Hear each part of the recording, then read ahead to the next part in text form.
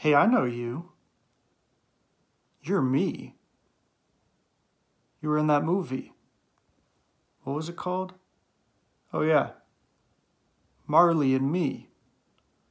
Yeah.